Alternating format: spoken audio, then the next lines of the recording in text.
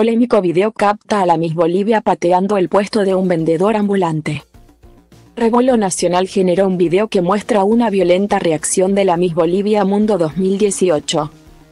Vanessa Vargas, que hace volar de una patada el puesto de un vendedor ambulante de empanadas.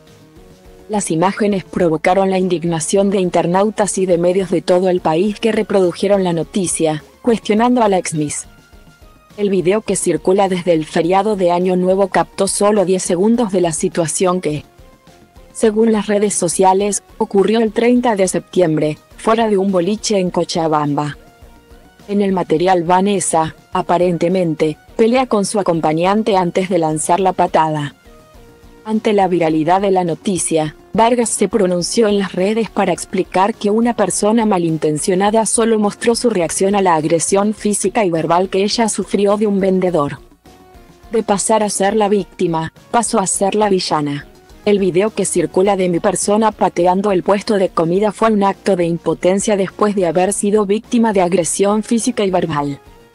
Comienza argumentando la joven en sus historias de Instagram. Uno de los tantos que estaban vendiendo trató de aprovecharse tocándome e intentando sacar ventaja de la situación mientras mi novio comía. Es lamentable que la persona canalla que hizo viral el video tenga solo el fragmento cuando tomo la reacción que cualquier ser humano.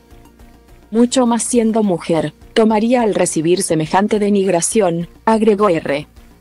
También expresó que intercambió disculpas con el vendedor y lamentó que personas indignas divulguen un video sin contexto y traten de ganar protagonismo a costa suya.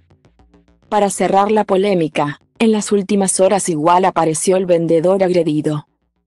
Que grabó un video para indicar que Vanessa pagó por las empanadas que arrojó al piso. Pero, aclaró, que la mujer se confundió, pues él no fue quien la acosó.